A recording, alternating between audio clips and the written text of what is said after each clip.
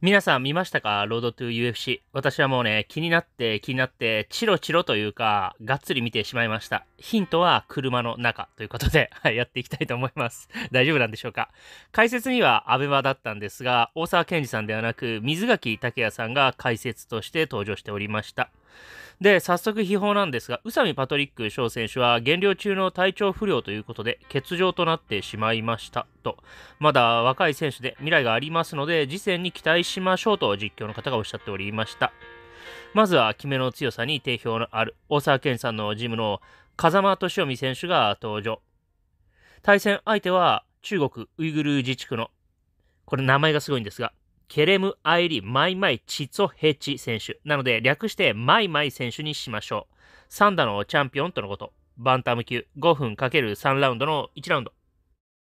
セコンドについている、まず、大沢健さんの、いいよいいよから始まり、風間俊臣選手のキックをキャッチしたマイマイ選手叩きつける。これで組に行かないことは明白。風間選手1分でしかしながら組に成功。倒し、マイマイ選手はケージ際までじりじり移動。大沢健二さんは、いいよ、削りに行こう、と。風間選手はコントロールよく、逃がさないが、ラスト1分で立たれ、首相撲、膝。スタンドでは、マイマイ選手が強く、果敢に前に出てきたところで1ラウンドを終了。大沢健二さんは、低く行け、中に入れ。相手は蹴りで突き放そうとしてるから、低く行け、下がるな。上は対応されてるぞ、とアドバイス。2ラウンド、アドバイス通り下がらない風間選手。パッと組みつくも、マイマイ選手は突き放そうとする。腰を引いているのでなかなか入れない。ケージに押し込んで引いてる腰をなんとかしたいところ。と、ここで風間選手、アッパーからスクランブルの展開になり、首を取ったまま引き込み、下の展開になるも、足でさらにすぐ、ボンと突き放し、再びスタンドへ。組み合って残り1分。足をかけて倒し、風間選手マウントを取り、と、ここで2ラウンドを終了。3ラウンド、早速、大沢健さんのガード絞れガード絞れの声が、1分半で風間選手、右が当たり、それを機に組んでいくも、マイマイ選手、スクランブルを制し、ポジション上。しかし、風間選手、下からうまく体をねじり、バックを取る。しかし、マイマイ選手もうまく体を返し、風間選手を潰し、再び上。肘で削りに来る。残り30秒、大沢健さんの、勝負していいよの声に風間選手反応。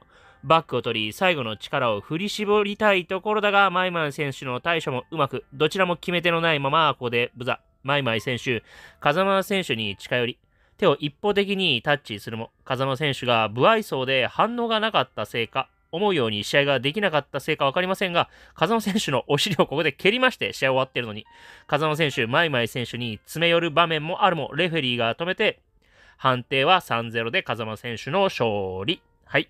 勝利のインタビューは全然嬉しくない。フィニッシュしなければいけなかったので、もう1ラウンドやってもよかった。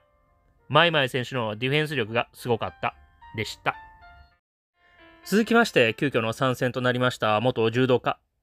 そして柔術家を経てプロ MMA ファイターへ、柏村仁之助選手。今回で5000メートルのこと。VS ここまで15勝7敗の韓国のキー・ウォンビン選手。柏村選手は急遽のオファーということで、普段より1階級上げてのチャレンジとなります。ライト級、土曜の朝に来たオファー、これをものにできるかどうか、開き直ってやりますとのこと。体格差はかなりあります。1ラウンドは、柏村選手、引き込んだのか、倒されたのか、ちょっとここ見れなかったんですが、足を取りに行きまして、倒れた状態で、キー選手、かなり焦っておりました。ここで決めたいところだったんですが、キー選手、潰しに行きまして、柏村選手は次の手、次の手と回転して足を取りに行き、そこから再び一旦スタンドへ戻りまして、で、そこからキー選手の蹴り足をつかみ、柏村選手、一度倒すも、キー選手、すぐ立つ。と、ここで柏村選手、飛びつき三角を取りに大きくジャンプからの引き込み。さらに足を取りに行くも、それをキー選手潰し、腕を殺し、肘、肘、パウンド。柏村選手、なすすべなく、ここでレフェリーが入り、キー選手の TKO 勝利となりました。キー選手もどこかで目の上をカットしておりました。柏村選手は見せ場を作ったいい試合でした。続いて、シュート現役フェザー級チャンピオン、サスケ選手。今回は本名のサスケイスケとして登場。朝倉海選手とのアメリカでのコラボ動画、対談動画でもすでにおなじみですね。髪の毛を金髪から黒髪に戻しておりまして、後ろで結んでおりまして、見た目はかなり武蔵さんっぽいです。意外にも今回が初の対外国人との対決らしいです。対戦相手はイ・ジャー選手、18勝3敗。中国四川省出身とキャリア上ですが、ここはやってくれるでしょう。はい。試合は1ラウンド。試合は1ラウンド。スタンドでパンチの応酬からサスケ選手が組みついて倒しに行くも、いい選手がサスケ選手を軽く、ひょいと持ち上げ倒し、バックを取る。そこからなんと、さっとリアネイキッドチョークを決め、サスケ選手たまらずタップし、いい選手早々と勝利してしまいました。倒された時に手をついた。その拍子にサスケ選手、肘を痛めてもいた模様です。1ラウンド2分18秒だったかなマジかといった感じでしたね。はい。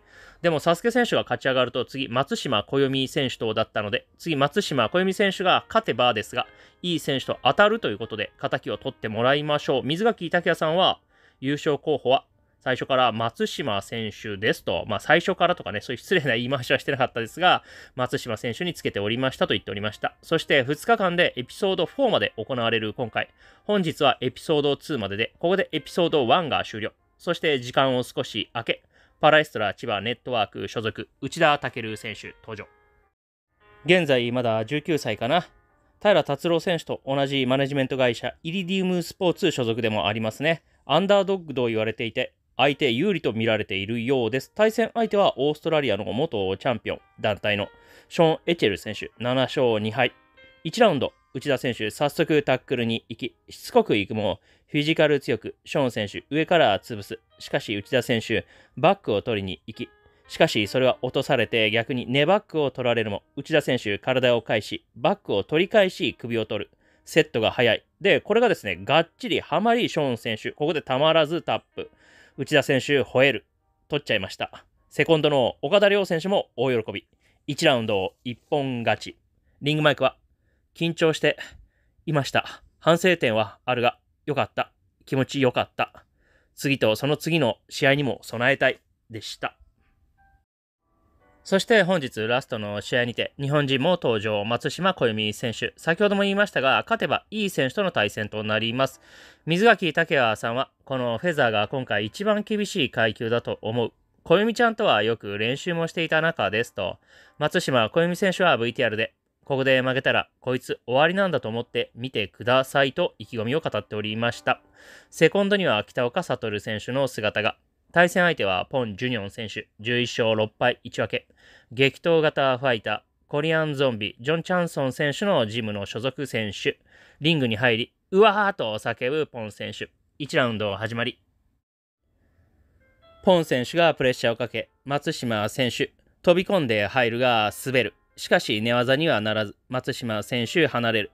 再び立ちでのやり取り。松島選手残り2分でパンチに合わせタックル。バックに回り、コントロール。そこから組んだまま、さっと飛び膝。これが入り、ポン選手、軽く腰が落ちるも、ここで一旦離れて、松島選手、しかし再びタックルに行く。離れ際のパンチも効かし、ここで1ラウンドを終了。水垣拓也さんは、ラウンドは取った。打ち合う必要はなし。と。2ラウンド、ポン選手の右フックがすぐ入ってしまい、ポン選手、前に出てくるも、松島選手、組みつきに行き、時間を作りたいところ。しばらくしてから離れ際に、今度は松島選手が膝。入っているはずだが、ポン選手、表情変わらず。しばらく打ち合い松島選手、タックル。ケージに押し込み離れる。ポン選手、明らかに疲れている。セコンドから、もうワンテイク行こうとの指示が入り、松島選手、タックルに行く。お互いにしんどい展開。そこからまた離れ、スタンド、スクランブルでヒヤッとする場面もあるも、ここでブザー。2ラウンド、ポン選手の右フックがすぐ入ってしまい、ポン選手、前に出てくるも松島選手、組みつきに行き、時間を作りたいところ。しばらくしてから離れ際に、今度は松島選手が膝。入っているはずだが、ポン選手、表情変わらず。しばらく打ち合い松島選手、タックル。ケージに押し込み離れる。ポン選手、明らかに疲れている。セコンドから、もうワンテイク行こうとの指示が入り、松島選手、タックルに行く。お互いにしんどい展開。そこからまた離れ、スタンド、スクランブルでヒヤッとする場面もあるも、ここでブザー。しかし判定は割れてしまいながら松島選手2-1で勝利となりました。ふぅ、マイクはギリギリ勝てたとは思っていた。強かったのでいい試合になった。もっと自分にいい打撃の距離で戦いたかったが、相手のプレッシャーが強かったので、こうなりました。そしてラスト、バーっと流れてきているツイート、これ関連の読まさせていただきます。なので、同じ人でもですね、ちょっとあっちゃこっちゃになってしまう可能性もありますので、そこはご了承。まず、大沢健さん、松島くん、干渉だろう。ドミネーター選手、小弓選手、盤石強い。さらにドミネーター選手、サスケ選手の敗戦はショック。で、サスケ選手はですね、サスケ、肘は脱臼しましたが、大ごとには至りませんでした。しっかり治させて、また再起させます。応援本当にありがとうございました。とのことです。柏村選手、早くもツイートしてくれております。この挑戦をさせてくれた周平田さん。現地で調整をしてくださった大沢健二さん。セコンドの親父。応援してくれた皆さん。家族、仲間、対戦相手、すべてに感謝します。結果は負けですが、めっちゃ青春しました。挑戦することは楽しいです。そしてものすごい経験値を手にしました。言いたいことがいっぱいあって、なんかまとまらないですが、こんな俺をこれからも応援していただけると嬉しいです。また必ずここに戻ってくる。そのためにまた今日からコツコツ準備していきます。また次や、と。絶対に諦めないので、また次に期待してください。とも投稿しております。大沢健二さんの先にバーっと読まさせていただきます。風間敏臣、ロードトゥ UFC1 回戦無事勝利。とりあえず内容は置いておいて、必ず勝たないといけない試合。あと2勝。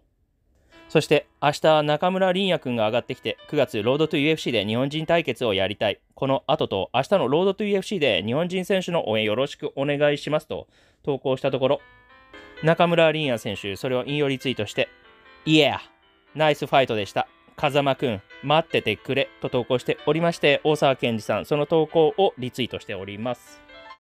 それと、大沢健二さん、今日格闘技通通信、現地からやってくれるそうで、なぜ風間は握手しなかったのかも YouTube の格闘技通通信でやりますので、見に来てくださいねと投稿しておりますので、これは必見ですね。本日夜11時からとなっております。北岡悟選手は一般の人の北岡がセコンドにいると負けるイメージあるよね。てんてんてん。これを引用リツイートして、アホなイメージ持ってるなぁと返しております。そして松島選手の試合後は、なんでスプリットやねん。アホか。全部こっちだろ。と憤っておりました。朝倉環奈選手は同門の内田健選手に対して、たけると。鶴谷玲選手も、たける、かっこよすぎるぜ。